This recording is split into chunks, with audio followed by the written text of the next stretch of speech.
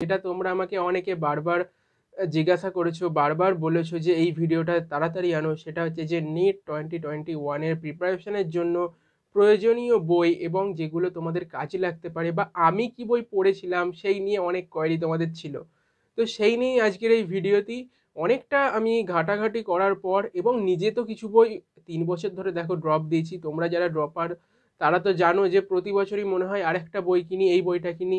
ওই বইটা কিনি, ওই বইটা আমার ওই বন্ধুটা কিনেছে, আমি ওটা পড়ি। তো এরকম করে আমিও প্রায় অনেক বই কিনেছি, কিন্তু সব বই আমি তোমাদের বলব না, আমি সেই বইগুলো বলব যেগুলো পড়ে জেনুইনলি আমার উপকার হয়েছে এবং অবশ্যই যেগুলো আমি পড়তে পেরেছি এবং ভালো লেগেছে, যেগুলো মনে হয়েছে, ঠিক আছে? তো সেইগুলো আমি বলব, আর দু একটা বই এমন থাকবে যেগুলো আমি নিজে পড়িনি, কিন্তু সেই বইগুলো ভালো বলে আমার মনে হয়েছে, তাদের মেনলি আমি অ্যামাজনে সার্চ করে, তার ডেসক্রিপশান বক্স ডেসক্রিপশান দেওয়া থাকে তো বইয়ের সেখান থেকে। তবে নাইনটি পার্সেন্ট বই যেগুলো আমি নিজে পড়েছি সেইগুলোই আমি তোমাদের বলছি এই ভিডিওতে। তো ডেসক্রিপশান বক্সে সব লিঙ্কগুলো দেওয়া আছে বইয়ের, কিন্তু সেখানে গিয়ে ডাইরেক্ট পারচেস করার আগে তুমি আমার কিছু কথা শুনে নাও। সেগুলো তোমাদের জন্য অনেকটা জরুরি বই কেনার আগে।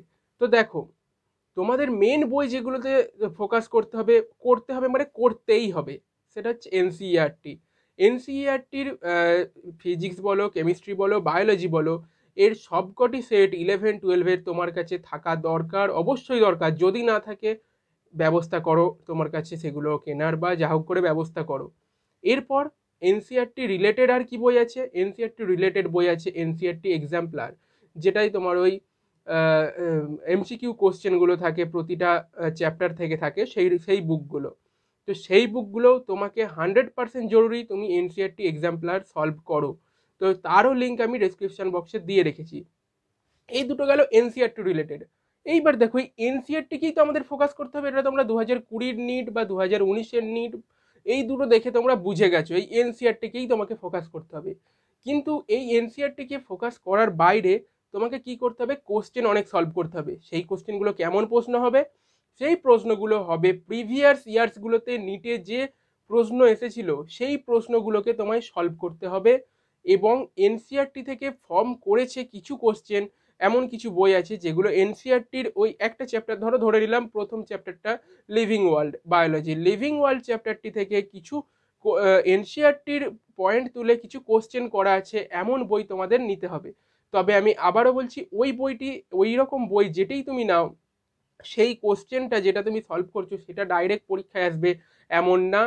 এইটা তোমার একমাত্র এনসিআরটি পড়ার পর যদি তোমার নিজেকে এভলিউশন করার দরকার হয়, যদি কি তোমার দরকার হবে এবং করতে হবেই, তোমাকে এনসিআরটি সলভ করার পর এনসিআরটি রিলেটেড কোশ্চেন যে বইগুলো আছে সেই বইগুলো তোমার সলভ করা দরকার। বা তুমি যদি কোনো অনলাইন হোক বা অফলাইন হোক ইনস্টিটিউটের ম্যাটেরিয়াল নিয়ে থাকো, সেখানেও ওরা এগুলো দিয়ে রাখার চেষ্টা করে। আমি দেখেছি অনেকের।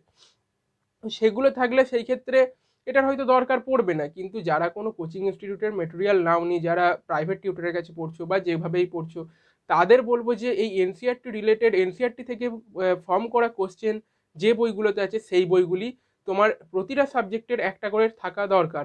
তার জন্য তোমরা দেখবে আমি ডিসক্রিপশন বক্সের লিঙ্কে যে বইগুলোর কথা উল্লেখ করা আছে ফিজিক্সের জন্য একটা আছে এনসিআরটি এক্সট্র্যাক্ট বলে আই থিঙ্ক আর কেমিস্ট্রির জন্যও সিমিলার একটি বই আছে, আর বায়োলজির জন্য আমি বায়োলজির জন্য যেটা আছে সেটা হচ্ছে ফিঙ্গার টিপস এবার ফিঙ্গার টিপস বলো বা যে কোনো বই বলো, এগুলো এগুলো একটা জিনিস একটু আমার খটকা লাগে। সেটা হচ্ছে যে এরা সেল দ্য ইউনি সেল বলে যে চ্যাপ্টারটা আছে, সেই সেলটা তো সেল চ্যাপ্টারটার সেটার তো গুরুত্ব অনেকটা বেশি, সেটা থেকে অনেক বেশি কোশ্চেন হয়। তুলনামূলক অন্য চ্যাপ্টার থেকে কিন্তু এদের দেখবে, প্রতিটা চ্যাপ্টার থেকেই কোয়ান্টিটি অফ কোশ্চেন একই থাকে। প্রতিটা চ্যাপ্টার থেকেই ফিফটি কি হান্ড্রেড এরকম থাকে। তো সেই ক্ষেত্রে আমি এই বইগুলোকে সেই জন্য একটু হলে মানে আমার ভালো লাগে না। কিন্তু তুমি তুমি এগুলো কেনো এবং এগুলি থেকে তুমি সলভ করো। এর পাশে তুমি প্রতিটা চ্যাপ্টারে যদি হান্ড্রেডটা কি ষাটটা, সত্তরটা করেও কোশ্চেন পেয়ে যাও সেক্ষেত্রে তোমার এনসিআরটিটা পড়ার পর তুমি যে রিভিশন করলে বা এনসিআরটি পড়ার পর তুমি কতটা সলভ করতে পারছ এনসিআরটি থেকে ফর্ম করা কোশ্চেনগুলোকে সেগুলো দেখা তোমার জন্য দরকার। আমিও এনসিআরটি ফিঙ্গার টিপস বইটা কিনেছিলাম।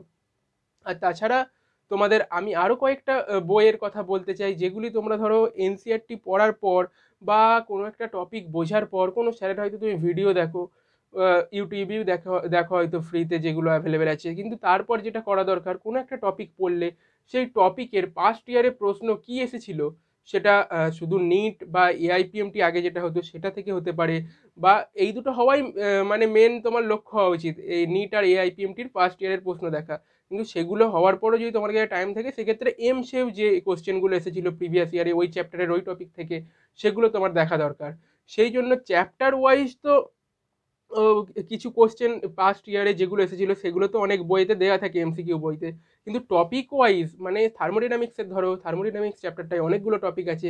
সেই প্রতিটা টপিকের আলাদা আলাদা করে কোশ্চেন যদি বাছাই করে দেওয়া থাকে, সেক্ষেত্রে তোমার তো সুবিধা হবে একটা টপিক পড়ার পর সেই কোশ্চেনগুলো সলভ করে। সেই টপিকটা তোমার তোমার কতটা তৈরি হয়েছে সেটা জানার জন্য। তো সেই রিলেটেড বইও আমার কাছে ছিল। আমি এগুলি অ্যাকচুয়ালি প্রথম দু বছর যখন ড্রপ দিয়েছিলাম, এত আইডিয়া ছিল না বা বলার এরকমভাবে কেউ ছিল না। তো এগুলো নিজে এক্সপিরিয়েন্স করার পর বুঝতে পারি যে এইগুলো আমার দরকার। তো তারপর আমি ওই রকম বইগুলো নিই, তারপর সেগুলো সলভ করি এবং সেক্ষেত্রে অনেকটা হেল্পফুল হয়েছে। আর এগুলোই সলিউশন দেওয়া থাকে তো? তুমি যদি কোনো কোচিং ইনস্টিটিউটে বা কোনো টিচারের কাছে না পড়ো, যাদের সঙ্গে ডাইরেক্ট কথা বলতে পারো, সেক্ষেত্রে এই সলিউশনগুলো দেখে তুমি করতে পারবে। আর এখানে কোনো ব্র্যান্ড কোনো বইয়ের ব্র্যান্ডকে আমি বলছি না যে এই ব্র্যান্ডেরই বই কেনো। তুমি যে ব্র্যান্ডের ভালো লাগে সেই ব্র্যান্ডের কেনো, কিন্তু এই জিনিসগুলো দেখবে যে টপিক ওয়াইজ যেন দেওয়া থাকে কোশ্চেন তারপর প্রিভিয়াস ইয়ারের কোশ্চেন দেওয়া থাকে হ্যাঁ আর একটা জিনিস যেটা তোমার অবশ্যই দরকার, যেমনভাবে NCERT related NCERT text book আর এনসিআরটি এক্সাম্পলার অবশ্যই দরকার, সেরকমভাবে একদম অবশ্যই দরকার সেটা হচ্ছে লাস্ট বারো বছর বা লাস্ট পনেরো বছরের সলভ পেপার নিটের নিট বা এআইপিএমটি হতো, সেই নিট বা এআইপিএমটির সলভ পেপার এখানে কি থাকে, এই বইগুলিতে তোমার ধরো দু দশ থেকে কোশ্চেন আছে, ঠিক আছে দু হাজার দশে যে পেপারটা এসেছে, সেই পেপারটা পুরো পেয়ে যাবে তুমি, তারপর সেটাকে তুমি পরীক্ষার মতো করে দেবে এবং তারপর তিন ঘণ্টার পরীক্ষা দেওয়ার পর তুমি সেটা সলিউশনও সেই বইটিতেই থাকবে। তো এই বইটি তোমার কীভাবে কাজে লাগবে? তোমাদের এখন ধরো আর পাঁচ মাস টাইম আছে। এটা হয়তো এক্ষুনি কাজে লাগবে না। কিন্তু এক মাস বা দু মাস পর থেকে, মোটামুটি জানুয়ারির পর থেকে আমি চাইব যে তোমরা প্রতি মাসে অন্তত দুটো করে ফুল টেস্ট দাও। এক্ষেত্রে তোমার দুটো জিনিস হবে, যারা ড্রপার তাদের জন্য এটা খুব জরুরি। তারা হচ্ছে, যারা ড্রপার তারা কি করেছ? দু হাজার কুড়িতে নিশ্চয়ই প্রিপারেশন নিয়ে দিয়েছ পরীক্ষা। তারপর কিছুটা নাম্বার কম এসে গেছে। তো প্রিপারেশন তো তোমার হয়েই আছে। তো সেই প্রিপারেশনটাকে তুমি রিভাইজ করতে চাও, কিন্তু তিনটে সাবজেক্টের বই একবারে যদি তুমি রিভিশন করতে চাও, তোমার একটা হিউজ টাইম নেবে। সবচেয়ে রিভিশন করার সবচেয়ে টাইম অনুযায়ী সস্তা উপায় মানে খুব কম টাইম খরচ করে তুমি রিভিশন এফেক্টিভলি করতে পারবে। সেটা হচ্ছে তিন থেকে চারটে পেপার যেগুলো প্রিভিয়াস ইয়ার্সের পেপার এমন নয় কোনো ইনস্টিটিউটের মক টেস্ট তাদের তুমি দেবে তুমি উল্টে আবার উল্টে যাবে। তাদের মক টেস্ট আমি দেখেছি, এত শক্ত শক্ত কোশ্চেন দেওয়া থাকে কিছু কিছু মক টেস্টে যেগুলোর কোনো নিটেতে কোনো দিনই আসবে না। এখন তো আসেই না, আগে যদিও বা আসতো, এখন একদমই শক্ত কোশ্চেন সেই অর্থে আসে না। তো সেইগুলো অ্যাভয়েড করে চলবে। এই যে প্রিভিয়াস ইয়ারের যে প্রশ্নপত্র, সেইগুলি যদি তোমার কাছে অলরেডি থেকে থাকে দু হাজার আঠেরো অবধি, তাহলে কোনো কিনতে হবে না তোমাকে। কিন্তু যাদের কাছে নেই, তারা এই বইটি অবশ্যই কিনো যে প্রিভিয়াস ইয়ার সলভ পেপার আমি তার লিঙ্কও ডেসক্রিপশন বক্সে দিয়ে দিয়েছি। আর দেখো, আরেকটা জিনিস আমার যেটা অনুভব হতো এনসিআরটি বায়োলজি বলো বা এনসিআরটি ফিজিক্স বলো বা এনসিআরটি কেমিস্ট্রি বলো, এই তিনটে বই অনেকটা কি বলো তো অনেকটা ব্রিফ করে দেওয়া আছে শর্টে দেওয়া আছে, খুব ইম্পর্টেন্ট টপিকগুলো দেওয়া আছে। কিন্তু সেটাকে ইলাবোরেট ওয়েসে যদি তোমার বুঝতে হয়, যদি নিজে পড়ে বুঝতে হয়, সেক্ষেত্রে কিছুটা প্রবলেম হয়। কিছুটা নয়, ভালোই প্রবলেম হয়। সেক্ষেত্রে তোমরা বায়োলজিতে তোমার এটা পার্সোনাল ব্যাপার। তুমি যদি ফিল করো যে এনসিআরটিটা বুঝতে পড়ে, পড়ার পর বুঝতে আমার অসুবিধা হচ্ছে, তাহলে তুমি এই বইগুলো নিতে পারো, যেগুলো আমি এখন বলছি। এর বাইরেও তুমি বই নিতে পারো, আমার যেগুলো জানা আছে আমি সেগুলো বলছি। আমি তো আর এমন নয় যে পুরো লাইব্রেরি নিয়ে বসে আছি বা পুরো লাইব্রেরির এক্সপিরিয়েন্স আছে। যে বইগুলো আমি নিজে দেখেছি সেইগুলো বলছি, ঠিক আছে? দেখো কম্প্যানিয়ন বায়োলজি বলে একটা বই আছে, দিনেশের আই থিঙ্ক তো সেই বইটি তুমি যদি পড়ো বায়োলজির ক্ষেত্রে এনসিআরটিকে আমি দেখেছি, একটা লাইন এনসিআরটি যেন ওটা পুরো একেবারে ডাইসেক্ট করে দিয়েছে এনসিআরটির ওই লাইনটাকে সেই রকমভাবে ওই কম্প্যানিয়ন বায়োলজি বইটির দুখানা ভলিউম আছে আই থিঙ্ক ডেসক্রিপশন বক্সে আমি লিঙ্কগুলো দিয়ে দেবো। তো সেই বইটি তুমি যদি পড়ো, সেক্ষেত্রে তোমার বুঝতে কোনোরূপ অসুবিধা হবে না এনসিআরটি বায়োলজিকে অন্তত। আর এনসিআরটি কেমিস্ট্রি পড়ার আগে তোমরা অনেকেই আছো যারা বেঙ্গলি মিডিয়ামের স্টুডেন্ট বা ওয়েস্ট বেঙ্গল বোর্ডের স্টুডেন্ট আমার চ্যানেলে যারা আছো তো তাদের আমি বলব, দেখো তোমরা ছায়া প্রকাশনের বইটা পড়ো তো। তো ছায়া প্রকাশনের বইটা পড়ার পর তোমার যদি সত্যিই খুঁটিয়ে খুঁটিয়ে সব জায়গাগুলো পড়ো, তাহলে কনসেপ্টে কেমিস্ট্রির জন্য অন্তত অসুবিধা হবার কথা না। সেই ক্ষেত্রে আমি বলব কেমিস্ট্রির জন্য ফালতু আর অন্য কোনো বই দেখার দরকার নেই। সেই ক্ষেত্রে আমি বলব বলব এটা। এবার তোমার এবার পার্সোনাল চয়েস হতেই পারে। তো কেমিস্ট্রির জন্য আমার কোনো আলাদা বই ছিল না।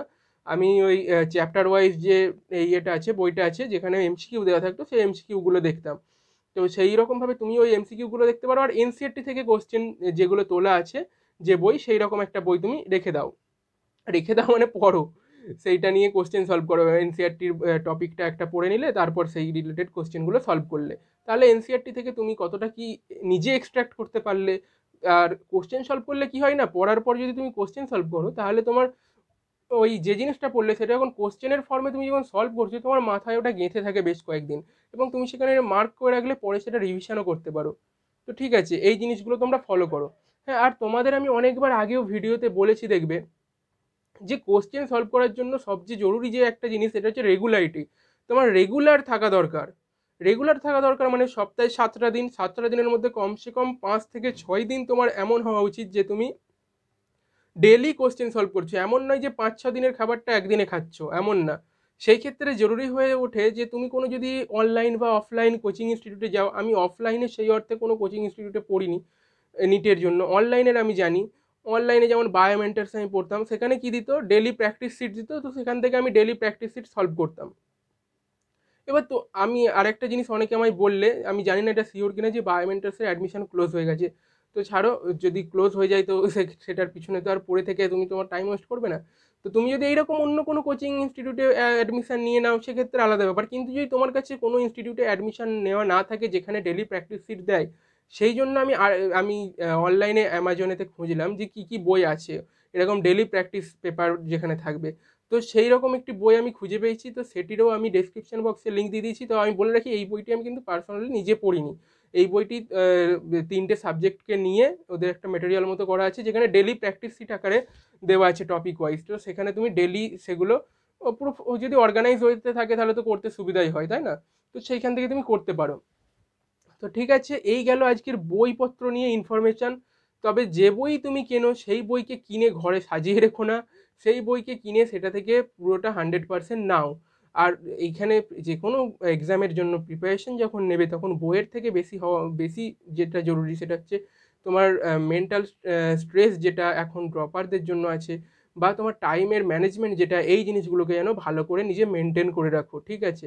টাইম ম্যানেজমেন্টটা ঠিক করে করো মানে এক্সট্রা টাইম কিছুতে বেশি দিয়ে দিও না, আবার কিছুতে যেটা দেওয়ার দরকার সেটাতে কম দিয়ে ফেলছো, এমন যেন না হয়, ঠিক আছে? আর যেটা তোমরা প্রিপারেশনের জন্য বইয়ের পাশাপাশি আর কি লাগবে, সেটা তোমাদের আমি বলেছি যে রেগুলারিটিটা মেনটেন করতে হবে। আর এক গাদা বই কিনো না। এমসিকিউ তুমি সলভ করার জন্য বই কিনতে পারো, যেগুলো নিটের লেভেলের কোশ্চেন রাখে বা প্রিভিয়াস ইয়ারের কোশ্চেন আছে যেগুলোই, সেগুলোই। কিন্তু থিওরি বুক গাদা একেবারে কিনে নেওয়ার কোনো দরকার নেই। যেমন আমি ফিজিক্সের ক্ষেত্রে একটা দিয়েছি, দেখবে ডেসক্রিপশন বক্সে লিঙ্ক দেওয়া আছে। ফিজিক্সের ক্ষেত্রে ডিসি পান্ডে স্যারের বইটি আছে, যেটাই যেই মেন্সের বই। সেটা আমি বলেছি যে যদি কারোর কনসেপ্ট বিল্ডিংয়ে কোনো অসুবিধা হয়, সেক্ষেত্রে ওই বইটি রেফার করেছি আমি। তো সেই বইটি তোমরা কিনতে পারো, আমার কাছেও ছিল। কিন্তু আমি সত্যি কথা বলতে ওটার পাঁচটা ভলিউম আছে। আমি মেকানিক্সের পার্টটুকু ওই বইটা থেকে দেখেছিলাম। মেকানিক্স ওয়ান মেকানিক্স টু মানে মেকানিক্সের তো দুখানা পার্ট আছে, তাই না? কাইনামেটিক্সের অবধি তো ডিসি পান্ডের এই বইটি তোমরা যদি কিনতে চাও, তো কিনতে পারো। সেক্ষেত্রে তোমরা আমি বলব পাঁচটা ভলিউমই কেনার দরকার নেই। এক একটা করে ভলিউম কেনো, কতটা নিজে করতে পারো দেখো। তারপর যদি করতে পারো, তো আর একটি ভলিউম কিনবে পরের ভলিউমটা তো এইভাবে তোমরা এগিয়ে চলো। আর কেমিস্ট্রির জন্য বলেছি কেমিস্ট্রির ছায়া প্রকাশনীটা যারা পড়ে থাকবে, তাদের সেই অর্থে অসুবিধা হবে না। আর কি বলব, আর কিছু বলার নেই। তো এই বইগুলি তোমরা কিনতে পারো। আর ভবিষ্যতে যদি কোনো বই এরকম দেখি যে ভালো এসেছে, যেগুলো তোমাদের এফেক্টিভ ওয়েতে কম টাইমে বেশি কিছু করতে সুবিধা হবে, সেইগুলো আমি পরে দেব। তো এখন আর কিছু আমি বই নিয়ে বলছি না। তো চলো এখনকার জন্য টাটা, সবাই ভালো থেকো, সবাই ভালো করে পড়াশোনা করো। সবাই দু হাজার একুশে গিয়ে একেবারে ফাটিয়ে এক্সাম দাও আর নিট ক্র্যাক করো, আর কেউ কেউ তো আমার কলেজে আসবেই। তো তারপর তাদের সঙ্গে দেখা হবে। তো চলো এখনকার জন্য টাটা।